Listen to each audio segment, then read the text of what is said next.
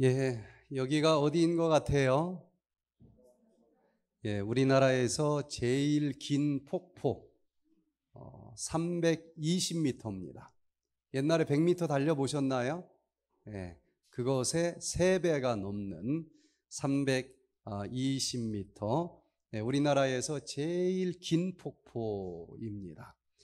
아, 어떤 사람은 저 하늘에서 천사가 어서 오세요 하고 비단으로 만든 천을 하늘에서 이 땅으로 내려준 것 같다라고 표현하는 사람도 있는데 아, 이 1년 12달 중에서 아, 이 토항성 폭포가 언제 올라가면 제일 멋있게 보일까요? 예, 바로 지금입니다.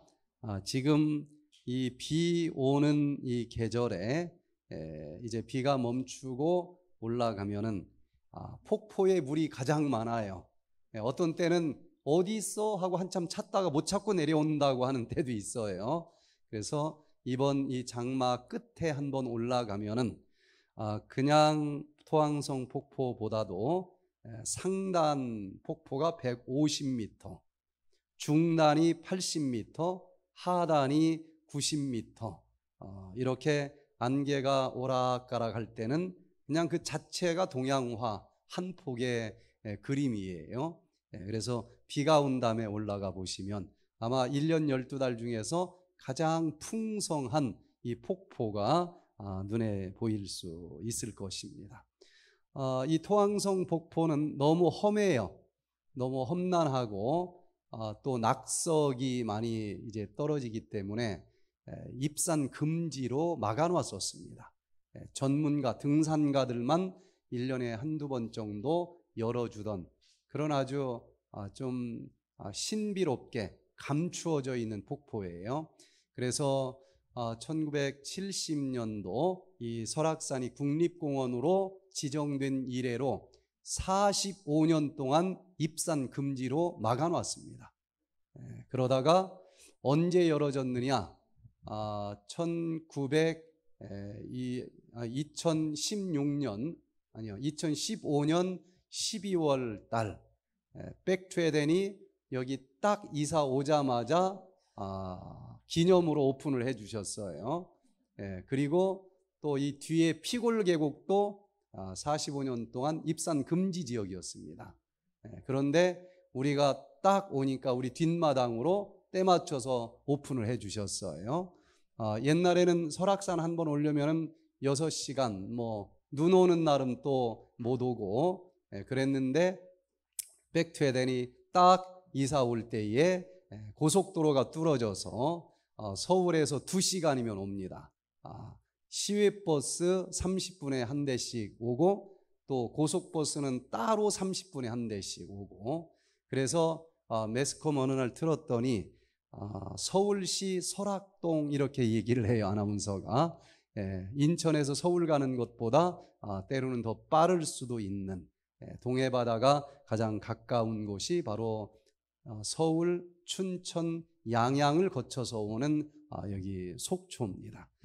이렇게 하늘에서 구원의 동아줄 내려주는 것처럼 아름다운 이 토항성 폭포 밑에서 또 이번 한 주일 동안도 아, 폭포처럼 쏟아지는 하늘의 은총을 많이 많이 받을 수 있는 우리 모두가 되시기를 바랍니다. 그리고 그 하나님께서 우리에게 어떤 불치병이라도 치유되거라 하고 세 마디의 명령을 들려주실 텐데 그 세 마디만 듣고 이해하고 잘 실천하기만 하면은 어떤 종류의 질병이라도 치료될 수가 있다는 것을 꼭 체험할 수 있기를 바랍니다. 그래서 오늘은 치유를 위한 예수님의 세 가지 명령이라고 하는 제목으로 은혜를 나누기를 원합니다.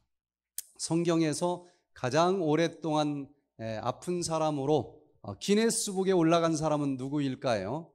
38년 동안 아, 이 중풍병으로 걷지 못하던 환자가 성경 기네스북에 올라간 주인공인데 그 38년 동안 일어나 걷지 못하던 그 환자를 어떤 방법으로 치료해 주셨을까? 성경에는 여러 가지 치료 방법을 골고루 다 소개를 해 줍니다. 어떤 사람은 진흙을 눈에 발라서 치료해 주신 그런 방법도 있고, 뭐 참 많은 방법을 사용하셨는데, 어떤 사람은 또 이렇게 안수하셔서 치료해 주신 방법도 있고, 근데 가장 어려운 38년 동안 걷지 못하던 환자는 어떤 방법으로 치료해 주셨을까? 그것도 궁금하지 않습니까? 에, 진흙도 발라주지 않았어요. 물로 또 수치료도 안 해주셨습니다. 안수도 안 해주셨어요. 오직 하나 말씀으로만 치료해 주셨습니다. 그래서 수많은 치료제 중에서 말씀으로 치료하는 로고스 테라피가 아, 수많은 치료 방법들 중에서 가장 파워풀한 치료 방법이다라고 저는 믿습니다. 그러면 도대체 어떤 말씀을 전하셔서 이 불치병이 치료됐을까? 자세히 보니까 긴 이야기가 있지만 딱 세 가지 말씀을 주셨어요. 이것을 그 중풍병자 치료하는 비법이라고만 한정하면 성경에 기록될 이유가 없었겠죠. 지금 이 시대에도 도대체 이런저런 수많은 방법을 다 동원해도 치료가 어렵다라고 생각하는 질병을 치료할 때 똑같은 치료의 원리가 활용될 수 있기 때문에 여기 남아있지 않겠습니까? 도대체 어떤 말, 세 가지 말을 이해하고 실천하면 이런 불치병들이 치료될 수 있을까? 저는 이 말씀을 보면서 그렇게 생각이 들었어요. 자, 한번 같이 읽어보겠습니다. 요한복음 5장 5절로 9절에 있는 말씀입니다. 시작. 거기 38년 된 병자가 있더라.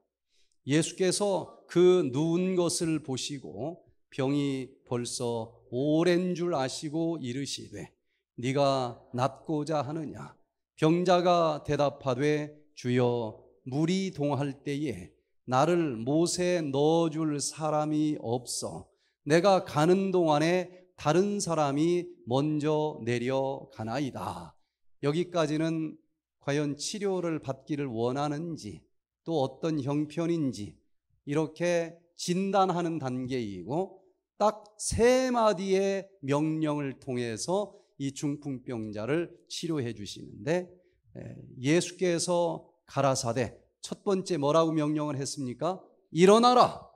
두 번째는 네 자리를 들고 일어나라. 세 번째는 걸어가라.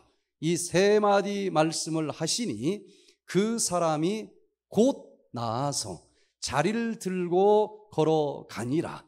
이날은 안식일이니. 이렇게 나옵니다. 과연 그 오랫동안 수많은 치료를 해봤지만 불가능했었던 불치병 환자가 무슨 말씀을 통해서 치료가 됐는지 관심이 좀 가지 않습니까? 그래서 단 세 가지 명령, 어떤 원리를 통해서 치료됐는지 이 시간 같이 생각하면서 그 원리가 나에게도 적용되고 불치병이라 생각했었던 질병들이 완치될 수 있기를 간절히 바랍니다.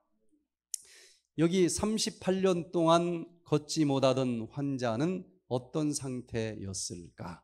예, 여기 요한복음 5장 5절로 7절에 네가 낫고자 하느냐 하고 물었을 때 자기 형편을 지금 아, 문진법이라고 그래요. 이 문진 물어보는 거죠. 그러면서 아, 어떤 상태인지를 진단을 하는 것. 병자가 대답하되 주여 물이 동할 때에 나를 못에 넣어줄 사람이 없어. 내가 가는 동안에 다른 사람이 먼저 내려가나이다. 내가 아직도 치료가 안 되고 왜 환자로 있는 줄 아십니까? 하고 형편을 얘기하는데 38년 동안 저쪽 물이 이렇게 가끔 움직였다고 그러는데 그 물이 동할 때에 제일 먼저 들어가는 사람은 치료된다. 진짜인지 가짜인지 하여튼 그런 이야기들이 있는 연못입니다. 그런데 걷지 못하는 환자니까 제일 먼저 가려고 딱 움직이면 벌써 다른 사람들이 들어가 버린 거예요. 예. 그래서 나를 넣어줄 사람이 없다. 오직 소망은 저 물이 동할 때 내가 제일 먼저 물에 들어가는 것이 예, 치료될 수 있는 유일한 길인 것 같은데 걷지 못하는 환자니까 아, 누가 나를 좀 도와줘야 되는데 자기가 먼저 들어가려고 그러지 나를 도와줄 사람이 없는 거예요. 답은 물에 들어가야 되는 것이 정답인데 나를 못에 넣어줄 사람이 없다. 예, 어쩌면은 어, 정말 막막한데 예, 나를 도와줄 사람은 하나도 없구나. 아, 그런 외로움 속에서 잠 못 이룰 때가 아, 누구에게나 있지 않습니까? 그렇게 보니까 요 38년 된 중풍병자는 남의 이야기가 아니에요. 어떤 때는 망망대해 태평양 한가운데 나 혼자 떠돌아다니는 낙엽과 같은 느낌이 들 때 있지 않습니까? 그렇게 나 혼자는 헤어날 수 없는 심각한 문제, 심각한 질병을 가지고 있지만 도와줄 자 하나도 없다 생각하시는 분은 그럼에도 불구하고 어떤 말씀으로 치유의 기적을 체험했는지 이 치료 방법에 대해서 좀 알아볼 필요가 있지 않겠습니까? 그럼에도 불구하고 이 사람이 치료된 비결이 무엇인가 하고 보니까 그 다음 구절에 내가 가는 동안에 다른 사람이 먼저 내려가나이다. 여러분, 38년 동안 걷지 못하고 그리고 저 물에만 들어가면 낫을 수 있을 텐데 노력해봤지만 다른 사람이 번번이 먼저 들어가요. 만약에 내가 그런 형편이라면 어떤 마음을 가질 것 같아요? 내 차례는 안 오겠다. 포기, 포기하겠죠, 대부분. 한두 번도 아니고 38년 동안 해도 안 되는데 이 사람은 여전히 연못 옆에 있어요. 그리고 또 물이 동하면 여전히 내가 가는 동안에 다른 사람이 먼저 내려가나이다. 포기하지 않은 사람. 이건 보통 사람이 아닙니다. 대부분 서너 번 하다 안 되면 이건 나는 안 된다. 다 돼도 나는 안 된다. 좌절과 낭망 속에서 인간이면 대부분 포기하는 거예요. 그런데 이 사람은 38년 동안 걷지 못하고 있음에도 불구하고 여전히 물이 동할 때는 또 몸부림을 치는 것입니다. 이것은 마지막까지 포기하지 않고 온몸으로 내가 걷기를 원합니다. 온몸으로 몸부림치면서 기도하는 사람이라고 하는 것 아니겠습니까? 그런 사람이 치료의 기적을 체험할 수 있다는 것을 얘기합니다. 많은 불치병 환자들을 제가 봐요. 뭐 이것저것 해봤겠죠. 아무리 얘기해도 믿지 않습니다. 그 유명한 병원을 갔어도 안 된다는데 무슨 백투에된 설악산 가서 이게 낫겠느냐. 이미 다 포기했어요. 그러기 때문에 기적이 없는 것입니다. 이 38년 된 병자처럼 지금도 온몸으로 내가 걷기를 원합니다. 네가 낫기를 원하느냐 했을 때에 말도 필요 없어. 온몸으로 여전히 지금 몸부림치고 그 연못을 향해서 격하는 모습을 예수님이 보신 것입니다. 그때 드디어 예수님께서 치료해 주시는데 어떤 방법이었을까? 고정관념을 깨뜨린 정말 기발한 치료 방법으로 일어나 걷게 했습니다. 예수께서 가라사대 일어나 네 자리를 들고 걸어가라 하시니 예? 이 환자는 만약에 내가 치료가 된다고 하면은 어떤 길이었다라고 생각했어요? 하여튼 저 물에 들어가야 치료가 된다는 고정관념에 딱 지금 사로잡혀 있고 내가 몸부림치지만 이 몸으로 1등 하기는 어렵다. 아마도 이렇게 몸부림치다 보면 누군가가 불쌍히 여겨서 나를 좀 땜에다가 먼저 넣어줄 사람은 나타나지 않을까? 이게 전부였을는지도 몰라요. 그런데 예수님은 물 자체를 사용하지 않습니다. 그것과는 차원이 다른 놀라운 치료의 말씀을 주시는데 세 마디의 말이었어요. 첫 번째는 일어나라, 일어나라.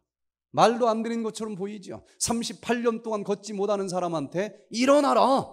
그러면 아까 우리 황장로님 말씀하신 것처럼 막 대들었을지도 몰라요. 어? 욕했을지도 몰라. 어? 누가 일어날 줄 몰라서 안 일어나느냐? 누구를 조롱하느냐? 그럴 수 있는 전혀 기대치 못한 예상하지 못한 새로운 방법의 지금 치료를 주시는 것 아니겠습니까? 그런데 이 사람은 어떻게 했기에 기적의 주인공이 됐을까?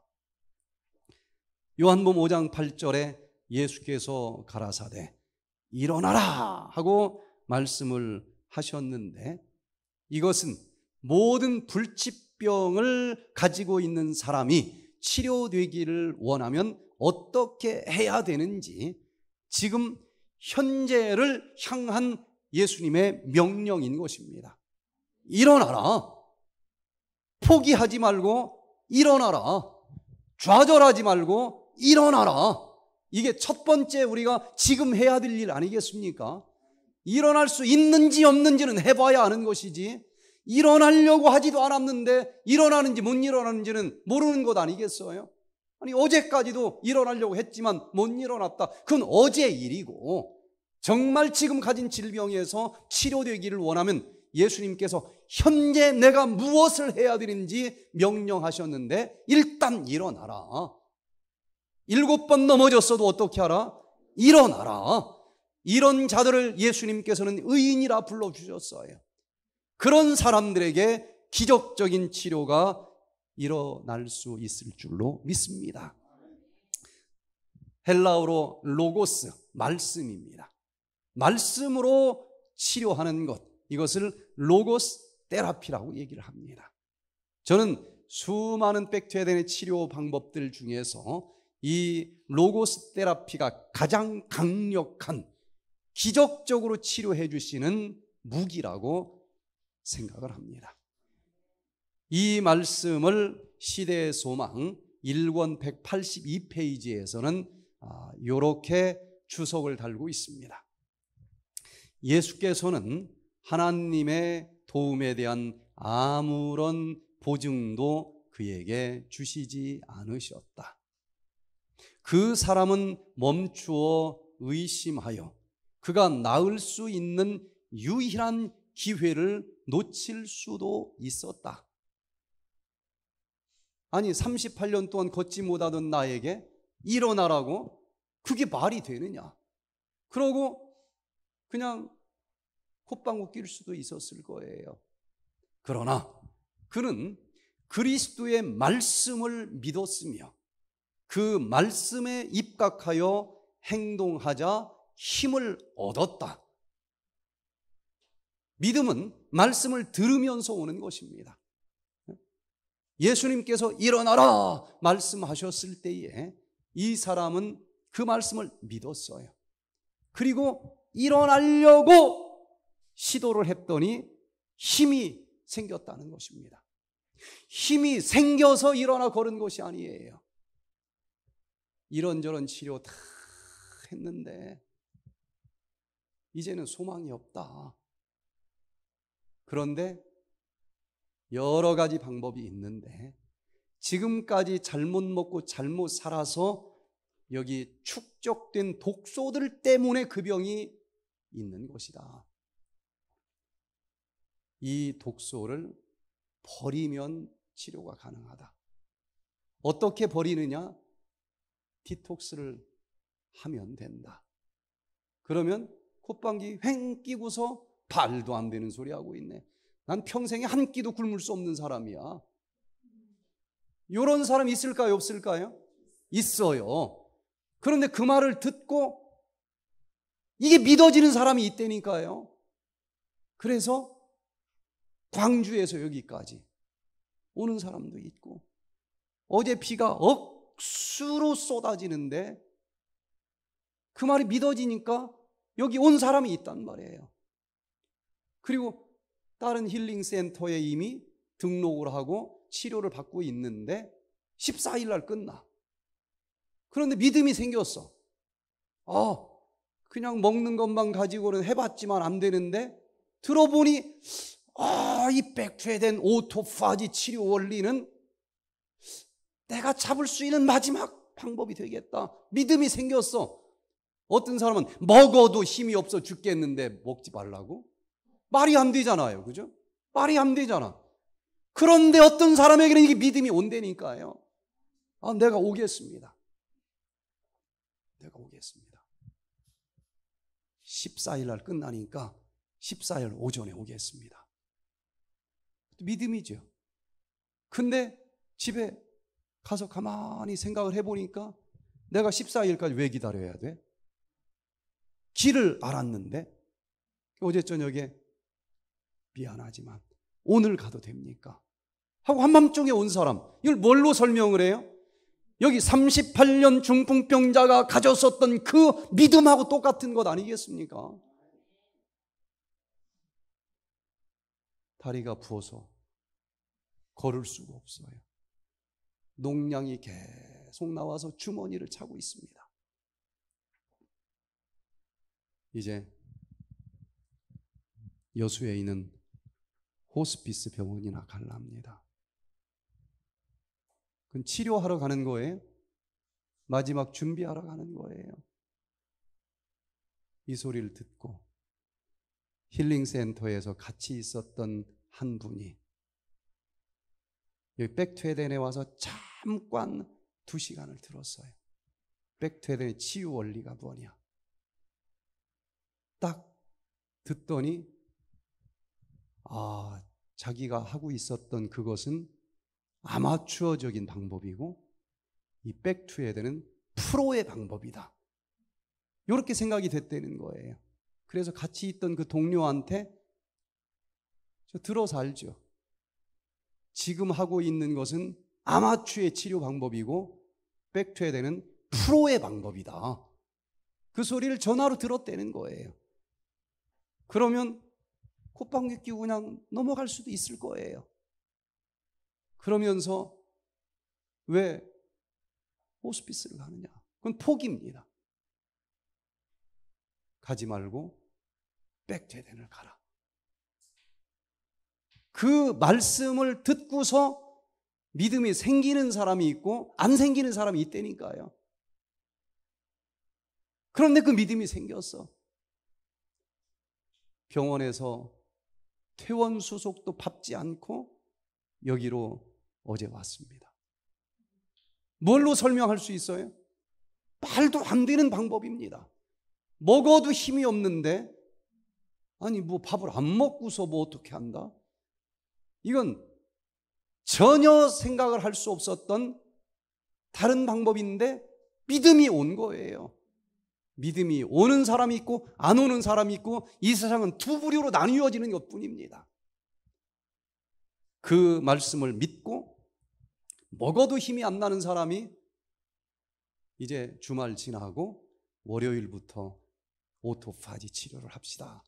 그랬는데 왜 월요일까지 기다리느냐? 오늘 한 아침부터 줘라. 이게 믿음 아닙니까? 말이 안 되지만 이게 믿음이에요.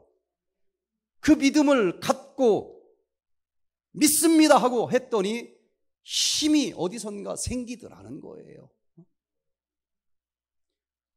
예수께서는 그대가 완쾌됐다고 느껴질 때까지 기다리지 말라.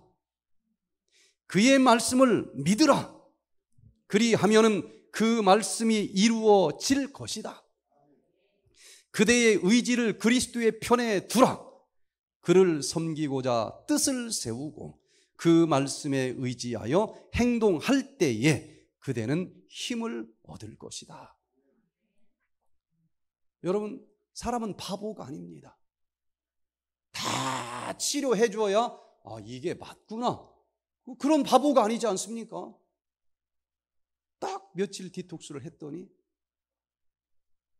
여기가 맑아졌어. 네? 머리가 맑아졌어. 근데 아직 여기는 답답해. 다 나선 거는 아니지만, 아, 지금까지 하던 치료법과는 다르지만, 그 어떤 것으로도 사라지지 않던 그 오락가락 복잡하던 머리가 맑아지네. 아, 이거다. 믿음을 가진 사람은 그 겨자씨 알만한 믿음을 가지고 내가 길을 찾았다. 가보자. 이게 믿음 아니겠습니까? 어, 또 했더니 가슴이 후련해. 근데 여기가 배가 더부룩하고 바위처럼 딱딱하고 소화도 안 되고 그러면 일주일이나 했는데 하나도 치료가 안 되지 않습니까? 믿음이 없는 사람이죠. 아, 된다. 끝까지 가면 되겠다. 뿌리를 뽑자. 믿음을 가진 사람들이에요. 지금 나나 2000년 전에 38년 동안 불치병으로 고생을 하는 사람이나 똑같은 인간인 것입니다. 인간의 심리는 똑같아요. 언제나 갈림길이 있습니다. 선택의 자유는 본인에게 있어요. 믿음을 가지고 선택하는 사람과 믿음이 없이 감정만 가지고 선택하는 사람으로 나뉘어지는 것 뿐입니다. 여러분, 이 완쾌될 때까지 기다리지 마시고, 원리를 잘 헤아리시고, 지금은 걷지 못하지만, 아, 이 말씀대로 따라 순종하면 치료가 되겠구나 하는 믿음의 소리를 들으시게 되기를 바랍니다. 그 믿음을 가지고 능력을 주시는 예수 그리스도를 의지해서 일어나라 그러면 힘들어 한번 일어나 보는 거예요. 밥을 새끼 다 먹여주고도 피골 가라고 하면 힘들어서 못 갈 판인데 밥도 안 주고 뭐 2만 보를 건네 3만 보를 건네. 옛날 건강할 때도 만 보 이상 걸어본 적이 없는데 그게 말이 되느냐? 믿음이 오면 아, 해보자. 허리가 아파서 앉아 있지도 못했던 황장로님이 30, 3, 뭐, 얼마? 3만 보를 걷는다는데, 나는 그보다 좀 괜찮은 상태로 온 것 아니냐. 나도 한번 걸어보자. 믿음은 들으면서 오고 보면서 오는 거예요. 이렇게 말씀을 들음으로 믿음을 가져보시기를 바랍니다. 믿음의 길도 걸어가는 자들은 기다림에 기다림이 필요해요. 기다리면 가장 적절한 때에 응답을 주실 줄로 믿습니다. 여름에 이제 장마가 끝나면은 사방에서 매미 소리가 들릴 거예요. 그 매미는 땅 속에서 군뱅이로 매미가 되기 위해서 몇 년을 기다린다고 그럽니까? 7년을 기다린대요. 7년을 기다려서 한 7일 삽니다. 그러면 어떤 사람은 에이, 그까지 7일 살라고 7년을 기다려 그냥 이, 이 혀, 혀 깨물고 죽지. 그런 사람들이 있지만 매미는 그렇지 않습니다. 이야, 내가 7일을 살기 위해서 7년을 기다렸다. 그래서 7년을 기다리고서 딱 매미가 되면은 이건 뭐 단 1초도 다른 시간으로 낭비할 수가 없는 거예요. 이게 무슨 삶입니까? 7년을 기다려서 얻은 삶이에요. 그래서 밤낮을 가리지 않고 우는 것입니다. 저는 그게 우는 게 아닌 것 같아. 아무리 봐도 노래를 부르는 것 같아. 7년을 기다린 어? 이 삶을 얼마나 소중한지 정말 노래를 불러도 불러도 아쉬움이 없는 그런 행복한 순간으로 장식을 하는 것 아니겠습니까? 이 대나무를 심으면은 4년 동안 싹이 나고 더 이상 자라지 않아요. 드디어 5년 동안 기다리던 대나무의 뿌리는 5년째 되는 해 갑자기 25m가 자라는 것입니다. 여러분 기다림이 길면 길수록 그렇게 하고서 받는 이 축복은 너무너무 기쁘지 않습니까? 예수님이 우리를 데리러 오실 거예요. 우리가 얼마나 오랫동안 기다렸습니까? 암에 걸려서 통증 때문에 잠 못 이루는 그 순간에도 기다렸고, 허리가 아파서 일어나 걷지 못하던 그 순간에도 기다렸고, 그런데 너무너무 오랫동안 기다린 자들은 드디어 약속하신 그대로 예수님께서 구름 타고 다시 오시는 그날, 얼마나, 얼마나 기쁠까요? 너무너무 기뻐서 예수님이 구름 타고 땅까지 내려오는 것을 기다리고 기다릴 수가 없어. 얼마나 기쁜지 그 기쁨으로 막 몸과 마음이 붕붕 떠가지고 공중으로 올라가서 예수님을 맞이한다고 그랬어요. 이 치료의 길이 맞는지 내 생각대로 했으면 아플 때마다 불안해서 포기하고 싶을 거예요. 우리를 만드신 분이 가르쳐 주신 그 치료의 방법대로 그 말씀을 듣고 그 말씀과 더불어 믿음이 싹틀 수 있기를 바랍니다. 그리고 완치될 때까지 기다리지 말고 믿음으로 그 길을 끝까지 걸어가시면 어느 날 기다리던 하루 놀랍게 완치의 축복이 우리에게 주어질 줄로 믿습니다. 파수꾼이 아침을 기다림보다 내 영혼이 주를 더 기다리나니 참으로 파수꾼의 아침을 기다림보다 더하도다. 왜 치료가 안 되는 거야? 하고 한숨 짓지 마시고 그 말씀으로 싹이 튼 믿음을 가지고 한 걸음 두 걸음 걸어가면서 기다리는 그 시간이 길면 길수록 마지막 날 그 완치의 축복은 훨씬 클 것 아니겠습니까? 오래 기다린 자일수록 오랜 어둠 속에서 기다렸던 자일수록 예, 그 다음 주어지는 그 축복은 그만큼 더 행복이 넘치는 축복이 될 수 있을 줄로 믿습니다. 오래전에 이정순 할머니가 이 백퇴된 프로그램에 오셨습니다. 중풍으로 쓰러졌어요. 걸을 수가 없습니다. 뭐 나이도 있겠다, 중풍도 왔겠다. 걸으려고 몸부림치어 보면은 남들이 볼 때 참 우스운 모습이잖아요. 그래서 자존심 상한 사람들은 어떻게 할까요? 그 꼴 안 보이려고 아예 안 걸어. 중풍이 딱 와가지고 말을 못해. 말을 못하는데 원래 말을 못했던 사람은 상관없어요. 어차피 못했던 거 뭐. 더듬든지 말든지 뭐 난 원래 말 못했던 사람이다. 그런데 아나운서가 중풍이 오면 문제가 심각해집니다. 토시 하나만 틀려도 막 얼마나 예민한 사람들인지 몰라요. 말로 먹고 살던 사람들이야. 근데 오보보보보 해버렸네. 이 모습을 누구한테 보여주고 싶지가 않아요. 그래서 말을 아예 안 하는 사람이 있습니다. 네? 이 창피한 걸 보여주고 싶지 않아. 암이 걸려서 얼굴이 삐쩍 마르면 원래 못생겼던 사람은 상관이 없습니다. 뭐 어차피 못생겼는데 뭐 풀려면 봐라. 저 방문 갈까 그러면 아 오세요 그래요. 근데 막 일평생 미인입니다 하고 막 미스 코리아서 코리아로 막 살았던 사람은 방문 간다고 하면 담임 목사도 거절해요. 예뻤을 때 그 모습으로만 기억하래. 내, 내 마지막 모습 보여주고 싫대. 그런 사람 있을까요? 없을까요? 저는 봤습니다. 죽어도 안 보여줘. 얼마나 외로울까? 얼마나 외로울까? 얼마나 힘들까? 그 외로움 때문에 죽어요. 이분이 아예 안 걷는 겁니다. 어? 걸으라고 해도 못 걷는데 왜 자꾸 걸으라고 그러느냐. 아예 시도도 안 해. 그런데 이 백퇴덴을 가면 나을 수 있다. 병원에 가서 그 많은 치료를 해도 못 걸었는데 뭐 산속에 가서 낫겠느냐. 그런데 여기까지 온 것 보니까 누군가가 백투에덴 가면 나을 수 있다 하는 말씀이 믿어진 거 아니겠어요? 이제 와서 방에만 누워 있던 이분이 스피커로 들려오는 요 백투에덴 말씀을 들으면서 믿음이 싹이 텄어요. 힘들지만 운동장으로 나왔습니다. 걸어지지 않아요.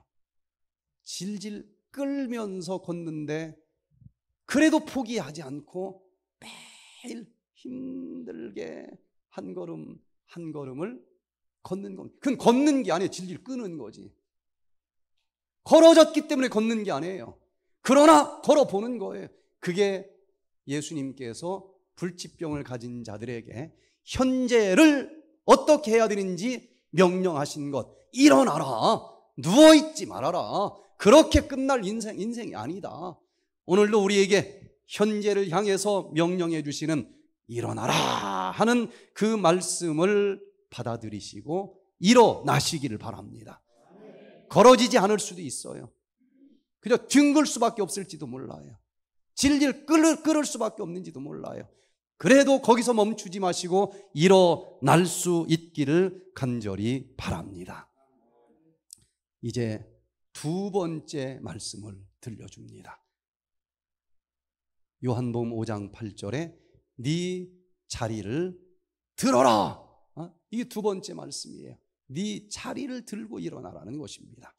이것은 잘 생각을 해보면 내 과거를 바라보면서 해주신 말씀입니다. 과거에 내가 잘못 사는 것 때문에 그것에 올가미가 딱 묶여가지고 오늘 아무것도 못하는 사람들이 있을까요? 없을까요? 있어요. 과거만 없었다고 하면은 오늘 다시 일어나면 돼요. 다시 시작하면 됩니다. 근데 과거에 받은 상처 때문에, 과거에 받은 트라우마 때문에 못 일어나는 사람들이 너무나 많아요. 시도도 안 합니다. 그런데 정말 이 질병에서 치료되기를 원하면 과거에 어떤 죄를 졌든지, 과거에 어떤 상처를 받았든지, 그건 과거입니다. 도마뱀이 잡혔을지라도 꼬리 딱 잘라버리고 여전히 왕궁 속으로 들어가서 왕궁에서 살 수 있는 것처럼 사단이 한 번 잘못한 걸 그 죄악의 꼬리를 잡아가지고 너 어차피 죄 졌잖아. 그러나 꼬리 딱 잘라버리고 그래 내가 잘못했다. 회개하시기를 바랍니다. 그리고 여전히 하나님이 사는 그 하늘 왕궁에 들어가시기를 바랍니다. 자리를 들고 일어나라고 하는 말이 왜 과거를 바라보면서 한 말씀일까? 자, 이 38년 동안 연못 옆에 누워 있는 중풍병자에게 이 자리는 뭘 의미할까요? 이 자리는 요 중풍병자의 전 재산입니다. 이 사람의 집입니다, 이게. 네? 이 사람의 밥상입니다. 여기만 누워 있으면은 누군가가 동전 한 입 줬으니까 직장이에요. 이 사람의 모든 것입니다. 그런데 예수님께서 일어나라 했을 때에 저 말 믿고 일어나면은 내가 일어나 걸을 수 있을까 하는 생각이 있는데 한편으로는 이 자리를 들고 가면 어떤 일이 벌어져요? 저쪽 노점상 하는 사람들은 자리 싸움이 심하죠. 예? 대학에서 저도 자리 싸움 많이 해봤어요. 시험 볼 때 도서관 자리가 부족하니까 도서관 자리를 잡으려면 몇 시에 가야 될까요? 네? 네. 아침에 이제 가서 아, 모처럼 도서관에서 가서 공부나 좀 해볼까? 하고 9시에 갔더니 자리가 하나도 없어. 아, 그래서 이 자리를 좀 일찍 가서 자리를 잡아야 되겠구나. 하고 제 깐에는 일찍 간다고 새벽에 6시에 갔는데도 꽉 찼어. 4시에 갔더니 4시에도 찼어. 1시에 갔더니 1시에도 찼어요. 그 전날부터 기다리는 거예요. 한 번 자리 잡으면 마지막에 다 안 갖고 갑니다. 책 하나 놓고 가지. 네? 그럼 남의 책을 집을 수는 없어. 그런데 이 사람은 38년 동안 지금 자리 잡아놓은 자리인데 혹시 내가 다 쓸 수 있을지도 몰라 하고 요것까지 들고 갔는데 그날은 좀 걸어졌는데 그 다음날 못 걸으면 집이 없어지는 거잖아요. 예? 자리가 없어지는 거잖아요. 그런데 예수님은 자리를 들고 일어나라는 것입니다. 예? 이러다가 혹시 못 걸으면 요거 그래도 뭐 맡아 놔야 돌아올 자리가 있을 것 아니냐? 요런 맘 가진 사람들은 치료가 안 돼요. 제가 많이 봤습니다. 담배를 끊겠습니다 하는 사람들한테 지금 가지고 온 담배 남았느냐? 남았대. 버려라. 그걸 못 버리는 사람이 있고 알았습니다 하고 딱 내놓는 사람이 있는데 누가 담배를 끊을까요? 네. 내놓는 사람이 버리는 사람이 끊어요. 아이 제가 절대로 안 핍니다. 뭐 남자가 한 번 약속했는데 그걸 제가 피겠습니까? 그냥 갖고 있, 있는데 안 핍니다. 이 사람을 저는 절대로 믿지 않아요. 경험상 이 사람은 아, 지금은 끊을 마음이 있지만 한 3일 정도 가서 작심삼일이 돼가지고 내가 얼마나 금남연상으로 이게 몸부림치고 막 잠 못 이루는지 모르는데 그러면 그때 뭐 그래도 혹시 필요할는지 어떻게 알아? 요 마음이 깔려 있는 거예요, 잠재의식 속에. 이런 사람은 과거로 돌아가게 되어 있어요. 여러분, 과거를 차단시키시게 되기를 바랍니다. 그냥 다리를 불태워 버리고 나가야 되는 거예요. 과거에 어떤 잘못을 저질렀을지라도 그 모든 것, 주홍처럼 붉은 죄를 졌다 할지라도 양털처럼 없었던 걸처럼 깨끗이 씻어주시는 그 예수님을 믿으시고 그 과거의 트라우마, 과거의 죄책감 완전히 들어 버리시게 되기를 바랍니다. 이 자리를 들으라고 하는 그 얘기는 과거의 잘못된 습관 때문에 이 질병이 찾아왔는데 그 습관의 자리까지 집어 던져 버리라는 얘기 아니겠습니까?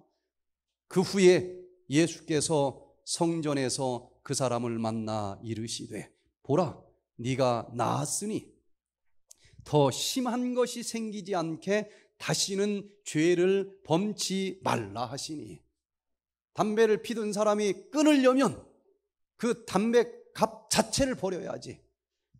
그 저쪽 책상 속에다 넣어놓고 안 핀다니까요. 안 돼. 그건 믿을 수가 없어요.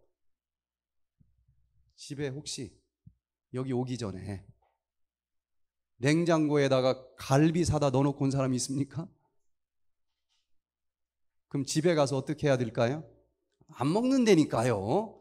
그냥 거기다 놔도 그냥 안 먹어요, 저는.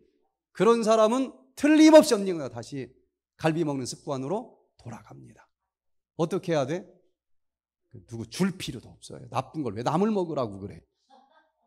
그냥 버려야지. 마음이 아프겠죠. 아픈 것만큼 결심이 더 강해지는 거예요. 예?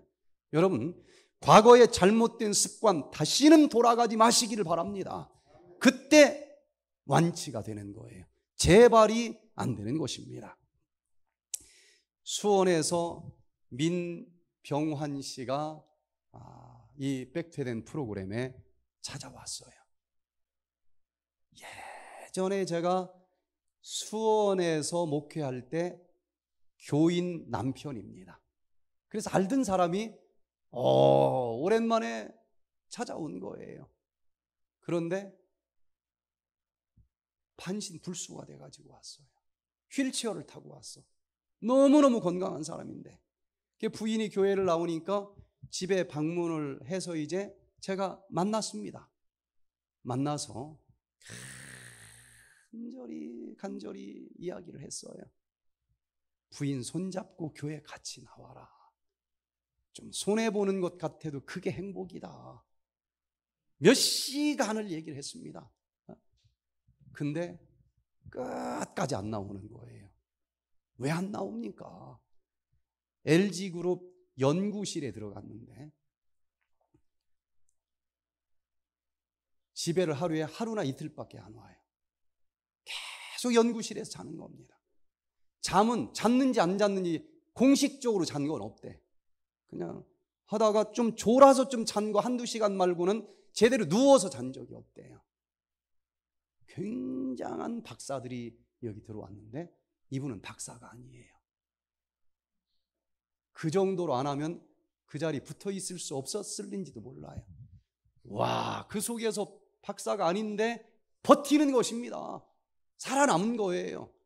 뭐, 보통 사람은 아니죠. 그렇게 7년을 지냈는데 어느 날 이제 회사를 나와서 건널목을 건너는데 갑자기 이 아랫도리가 빈 푸대자로 주저앉듯이 그냥 주저앉아 버렸다는 거예요. 그날로 못 걸어요. 발가락 까딱도 안 합니다.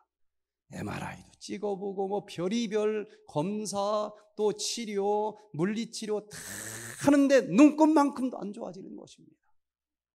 그때 제 생각이 난 거예요. 그래서 오랜만에 찾아온 겁니다. 휠체어를 타고. 그래서 물어봤어요. 이제 어떤 병원을 가도 이제 포기를 한 거예요. 여러 해 동안 해도 안 되니까. 여기서 예수님이 치료해 주면은 연구실 다시 나갈래 안 나갈래? 그랬더니 아, 치료되면 나가야죠. 그럼 또 바쁘다고 교회 못 나오겠네? 내가 하나님이라면 치료 안 해줄 것 같은데. 아, 며칠 고민을 하는 거예요. 그냥 못 걷는 사람 실컷 치료해 줬더니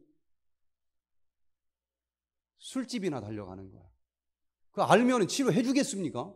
그런 사람을 치료해 주면 더 나쁜, 나쁜 인생이 되는 것 아니겠어요? 며칠 고민을 하더니 치료되면 사표되겠습니다. 그리고 나머지 여생은 정말 예수님 열심히 믿겠습니다. 돈 조금 벌어도 걸으면서 부인 손 탁 잡고 교회 가고 찬양하고 생각해 보니 이게 훨씬 행복할 것 같습니다. 그래서 내가 그럼 됐습니다. 기도합시다.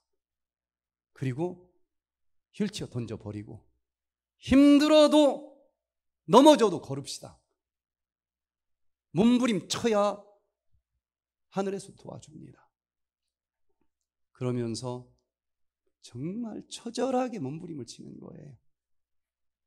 아, 막 하루는 제가 제가 20m를 걸었습니다. 20m 걸어놓고 얼마나 좋아하는지 20m를 걸었다는 거야 아마. 아, 잘했습니다. 계속합시다. 아, 제가 100m를 걸었습니다. 제가 1km를 걸었습니다. 제가 오늘은 4km를 걸었습니다. 완벽하게 산을 달려다닐 만큼 한 달 만에 좋아진 그 모습을 그때 찍은 것입니다. 여러분, 자리를 들고 일어나시게 되기를 바랍니다. 예? 옛날로 돌아가면 재발이 돼요. 옛날에 잘못된 습관의 자리 완전히 들고 없애버릴 수 있기를 바랍니다. 마지막으로 세 번째, 네 자리를 들고 걸어가라 하고 명령을 하십니다. 이것은 미래를 향한 명령입니다. 예? 여기서만 좋아지고 집에 가서 안 좋아지는 사람들 많이 있어요. 미래는 지금 가르쳐 준 이 길로만 꼭 걸어가라고 말씀을 하시는 것입니다. 좌로나 우로나 치우치지 말고 이 길로만 걸어가는 삶이 되시기를 간절히 바랍니다. 이 중풍병자가 왜 그렇게 수많은 사람들 중에서 가장 오랫동안 아팠었던 불치병이었는데 기적처럼 치료되는 주인공이 됐을까? 제가 앞뒤를 보니까 그럴 만한 자격이 있어요. 이 사람이 이제 치료가 딱 됐습니다. 치료가 된 다음에 이상한 대로 걸어가는 사람들 굉장히 많아요. 제가 미국에서 봤습니다. 미국에서 이 프로그램을 저쪽 올랜도 지역에서 하는데 그 중에 이제 한 분이 계속 나오더니 방문을 좀 한번 가달라는 거예요. 여기 안 나오는데 그 사람이 꼭 나왔으면 좋겠다는 것입니다. 그래서 갔어요. 갔더니 한 여인이 아, 이거 막 백퇴를 얘기하면서 한번 갑시다 그랬더니 끄떡도 안 해요. 갈 마음이 없다는 겁니다. 근데 지독한 불면증에 걸렸어요. 하얗게 샌데 그러길 벌써 3년이래. 정신이 벌써 이제 이상할 정도로 심각한 거예요. 그래서 백퇴된 프로그램만 와라. 30년 불면증 환자들이 수두룩하게 낫는다. 아, 근데 만만치가 않아요. 야, 이거 막 밀어붙여서만 될 일이 아니다. 그래서 계속 이제 상담을 했더니 남편에 대한 원망이 너무너무 심한 거예요. 그 남편이 뭐가 그렇게 미우냐? 그랬더니 아, 이 한국에서 옛날에 그 중앙정보부 여기서 남편이 일을 했답니다. 근데 그냥 술을 너무너무 좋아했대. 술을. 얼마나 얼마나 술을 먹는지 췌장암이 걸린 거예요. 췌장암은 지금 병원 치료 다 해도 이 5년 생존율이 9%가 넘지 않습니다. 제일 무서운 암이에요. 그러니까 병원에서도 이제 말기니까 포기를 한 겁니다. 그런데 부인은 포기를 안 했어. 그 당시 어떻게 알았는지 그냥 녹즙을 짜가지고 막 계속 준 겁니다. 옛날, 옛날엔 녹즙 짜기도 힘들 때였어요. 정말 지극정성으로 마냥 계속 녹즙을 주고서 1년을 먹였더니 어, 췌장암이 싹 나섰어. 그래서 미국으로 이민을 갔습니다. 누워서 걷지도 못하던 이 사람을 부인이 그렇게 치료해 주셨으니까 나머지 여생은 부인 업고 다녀야 되지 않겠어요? 근데 이상하다는 거예요. 밤 11시만 되면 어디를 가는 거야? 그왜 가는지도 몰랐어. 그리고 골프장을 맨날 가서 살아요. 왜 가는지도 몰랐어. 근데 친구들이 와서, 야, 너 남편 골프장 혼자 보내지 말고 같이 가. 이게 무슨 말인지 몰랐어요. 그래도, 그래도 못 알아들으니까. 네 남편 바람 피워. 그러는 거예요. 그래서 이제 쫓아가 봤더니 어떤 여자랑 골프를 치는 겁니다. 그래서 이제 딱 잡았어, 현장에서. 너 무슨 짓 하는 거냐? 어? 못 걸어 다니는 거 치료해 줬더니 지금 뭐 하는 거냐, 그 다리로. 그랬더니 그 남자는 그때 60살이고 같이 가는 여자가 70살이에요. 70세. 그러면서 그 여자가 나이가 70세다. 어? 그냥 골프 가르쳐 달라고 해서 그냥 그냥 어, 골프 가르쳐 주는 것이지 무슨 연애 말도 안 된다. 자기가 들어봐도 70세 할머니하고 무슨 그게 말이 되겠어? 하고서는 또 믿었어. 그랬는데 나중에 알고 보니까 그게 연애였다는 거예요. 11시마다 밤에 나가서 같이 잔 여자였다는 것입니다. 그렇게 10년을 지냈는데도 몰랐는데 나중에 그 여자가 이제 나이가 10살이 많이 먹었으니까 80이 돼서 죽은 거예요. 죽었는데 문상 뭐 대표가 뭐예요? 호상? 상주. 상주 노릇까지 하고 장례식까지 다 치러줬다는 것을 뒤늦게 알았는데 얼마나 배신감이 드는지 이제 병이 난 거예요. 배신감이 들 만도 하잖아요. 아니 그 못 걸어 다니는 것을 그 지극정성으로 어? 치료해 주어서 걸어 다니게 했더니 바람 피러 가. 그런 사람 치료해 줄 마음이 생기겠습니까? 치료해 주시는 분이.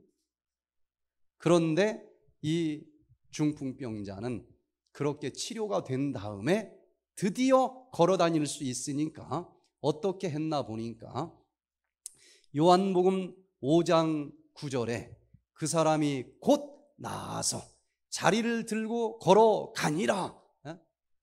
여러분, 완전히 38년 동안 걷지 못하던 사람은 어디 물리치료 해보시니까 아무리 잘 치료해줘도 금방 낫습니까? 에? 3개월만 기부세 놔도 바로 안 나서요, 물리치료 아무리 잘해도. 그런데 일어나 걸어라 하는 소리를 들고 자기 몸 혼자도 걷기가 어려웠을 텐데 말씀하신 대로 자리를 들고 걸어간 것입니다. 예? 예, 온몸으로 그 말씀을 믿고 이제 걸어 다니는데 이 자리를 들고 다니면서 뭐라고 했겠어요? 내가 요 자리에서 누워 38년 동안 걷지 못하던 사람입니다. 그러나 지금 이렇게 걷습니다. 이렇게 온몸으로 걸어 다니면서 간증하는 삶을 살았다라고 기록이 되어 있는 것 아니겠습니까? 여러분, 치료가 됐으면은 입 싹 닦으면 안 돼요. 하나님께서 치료해 주셨습니다. 간증하는 삶을 사시기를 바랍니다. 어? 하나님께서 치료해 주셨습니다. 영광 돌리시기를 바랍니다. 그리고 이제 걸어 다닐 수 있으니까 그 발걸음으로 어디를 갔나 하고 또 살펴보니까 14절에 그 후에 예수께서 성전에서 그 사람을 만나 이르시되 아 그러고 보니까 걸어 다니는 발걸음으로 이 사람은 어디를 간 거예요? 성전을 간 거예요. 술집 간 게 아니고 성전을 갔습니다. 여러분 이곳에서 치료가 잘 되는 사람들의 특징은 하나님, 내가 지금까지 잘못 살았습니다. 이제 하나님의 말씀대로 순종하면서 치료가 되면 하고 앞으로 어떻게 살아갈 것인지를 구체적으로 계획을 하는 사람들 이제 다시는 술을 마시지 않겠습니다. 내가 이제 정말 교회를 나가면서 하나님 열심히 섬기겠습니다. 내가 이제 나보다 어려운 사람들 도와주는 삶을 살기를 원합니다. 아무 생각도 없이 치료해 주시옵소서 이렇게 기도하는 사람하고 이제 치료가 되면 내 삶은 이런 모습이 되겠습니다. 그 모습이 얼마나 기쁘고 얼마나 소망이 찬지 하늘에서 놀라운 힘이 쏟아져 내려오고 기적처럼 치료되는 것을 많이 봅니다. 세 번째는 그 사람이 유대인들에게 가서 자기를 고치신 이는 예수라 하니라 전도하는 발걸음을 옮긴 거예요. 예수도 죽은 예수 전하지 마시고 지금도 살아있는 예수를 전하시게 되기를 바랍니다.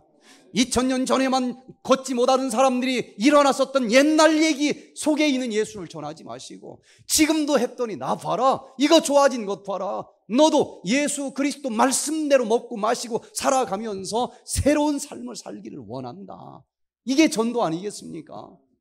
이렇게 치료되면은 어떤 발걸음을 걸어갈 것인지 계획하시고 결심하시고 하나님 꼭 그런 여생을 살기를 원합니다. 그렇게 주님께 감사드리면서 살 수 있는 우리 모두가 되시기를 바랍니다. 2000년 전에 수많은 치료를 해주시고 기적을 베풀어 주신 그 예수님, 회전하는 그림자도 없는 분입니다. 지금, 오늘날도 그 예수님이 똑같이 기적을 베풀어 주시는 것을 인해서 감사를 드립니다. 여기 몇 개월 전에 우리 오래 있던 분들 다 봤잖아요. 이미희 씨가 왔습니다. 하지마비가 와요. 모든 근에 염증이 있다는 것입니다. 통증이 너무너무 심해요. 뚱뚱 부었습니다. 걸을 수가 없어요. 이 병원 저 병원 다 가도 진통제 외에는 주는 것도 없고 낫질 않는 것입니다. 그렇게 여러 해 동안 고생을 하다가 여기를 왔다 간 사람이 백퇴된 한번 가봐라. 오토파지 치료라고 하는 최첨단 치료를 해주는데 치료가 될 수 있을 거다. 그보다 더 유명한 병원을 가서 치료를 해도 치료가 안 되는데 그게 안 믿어지는 사람 있을 거예요. 그런데 이분은 그게 믿음의 싹이 튼 것입니다. 왔어요. 왔는데 금방 걸어지는 게 아니에요. 여러분, 오늘 여기 강의장에 나와서 직접 제 얼굴을 보면서 말씀을 들을 수 있는 것 하나만으로도 감사하시기를 바랍니다. 우리 양장로님 이분 얼마나 오랫동안 여기 못 나왔어요? 거의 여기 4개월을 있었는데 여기를 내려올 수가 없었어요. 그냥 방에 누워서 이 스피커로만 강의를 듣는 것입니다. 걸을 수가 없어요. 그래서 이제 이 말씀을 듣고 누워만 있을 수는 없으니까 그래 이 중풍병자처럼 걸어보자. 어? 지팡이 두 개를 잡고 여기 복도나 조금 왔다 갔다 하는 정도. 그 정도를 막 몸부림치면서 시작을 하고 또 걷고 또 걷고 하면서 이제는 모든 진통제 다 버리고 통증이 하나도 느껴지지 않고 그리고 이제는 지팡이 없이도 여기까지 두벅두벅 내려와서 간증을 할 때 이 자리에서 찍은 사진입니다. 여러분, 이렇게 지금도 기적을 베풀어 주시는 예수님이 살아계시다고 하는 것을 인해서 감사드리시고 그 예수님을 꼭 만날 수 있기를 기도합니다. 그리고 치료가 되거든 다시는 옛날로 돌아가지 마시고 그 발걸음을 가지고 어디를 다니면서 무엇을 할 것인지 지금부터 계획하고 지금부터 꿈꾸고 그날이 빨리 내 나에게 밀려오기를 원합니다 하고 미리 그 기쁨을 맛보시기를 바랍니다. 그 기쁨이 치료제가 되면서 우리 모든 질병들을 회복시켜 주실 줄로 믿습니다.